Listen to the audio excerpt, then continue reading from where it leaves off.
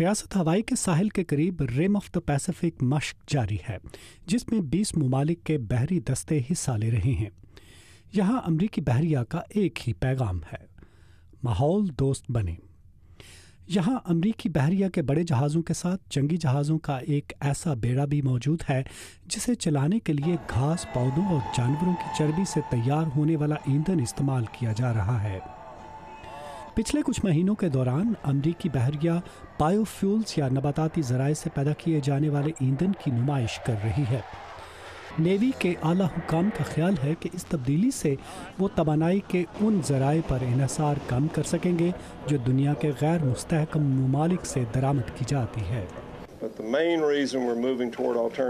ہم نیوی میں توانائی کے متبادل ذرائع کے استعمال کو اس لیے عام کر رہے ہیں تاکہ ہماری صلاحیتیں بہتر ہوں۔ بیرونی ملکوں سے درآمدی ایندھن پر انحصار کم ہو اور توانائی کے شعبے میں امریکی فوج کو آزادی اور تحفظ کا احساس ملے۔ اوباما انتظامیہ سن دو ہزار بیس تک اپنی بحریہ کے نصف بیڑے کو بایو فیولز پر منتقل کرنے کی کوشش کر رہی ہے اور چاہتی ہے کہ امریکی بحریہ قدرتی اور نباتاتی ذرائع سے ایندھن کی پیداوار میں آگے ہو۔ ویسے ہی جیسے جی پی ایس، کمپیوٹر اور موبائل فون کی ٹیکنالوجی میں نیوی نے اہم کردار ادا کیا تھا۔ کوشش ہے کہ سن دو ہزار سولہ تک بحریہ کے جہازوں میں استعمال ہونے والے ایندھن کا نصف متبادل ذرائع سے حاصل کیا جائے۔ میں نے نیوی، محکمہ توانائی اور زراعت کو پرائیویٹ سیکٹر کے ساتھ مل کر بایو فیولز کی تیاری پر کام کرنے کی ہدایت کی ہے تاکہ جنگی جہازوں کے علاوہ کمرشل جہازوں اور ٹرکوں میں بھی یہ ایندھن استعمال کیا جا سکے۔ بایو فیول عام تیل کی نسبت مہنگا ہے جس کی وجہ سے امریکی کانگریس میں اس کے استعمال کی مخالفت بھی ہو رہی ہے۔ بعض اراکین کانگریس کا خیال ہے کہ محکمہ دفاع کے بجٹ میں کٹوتی کے زمانے میں بایو فیولز پر اضافی خرچ پیسوں کا ضیاع ہے۔